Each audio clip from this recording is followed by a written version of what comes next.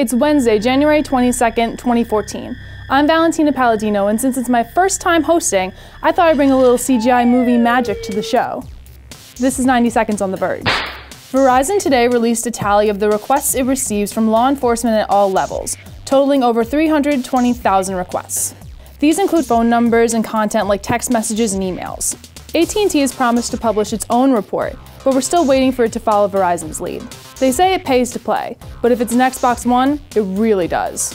Microsoft's partnership with the video gaming site Machinima is getting flack for paying YouTube personalities to promote the Xbox One, but forcing them to keep quiet about the deal.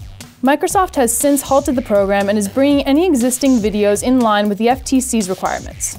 For all updates on this story, remember to check out the 90 Seconds app exclusively on the Sega Game Gear.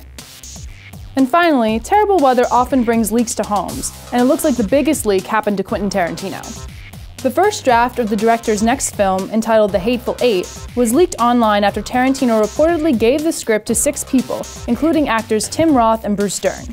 Because of the leak, the quote, very depressed Tarantino will now hold off on making the film and move on to direct another project in the meantime. However, Tarantino has also said that he might just completely change his mind and make the film. And that's it for today's top stories.